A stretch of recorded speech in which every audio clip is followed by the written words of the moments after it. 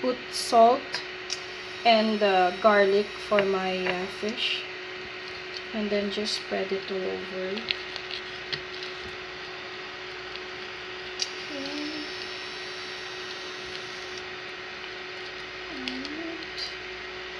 Normally, uh, we just uh, put salt to the fish. The next step is to uh, heat your pan. And once your pan is already uh, hot, then that's the time that we're going to put uh, the fish. For 3 minutes and then I'm going to uh, turn it to the other side for another 3 minutes. It varies also if you want like a crispy fish so you have to uh, let it stay longer.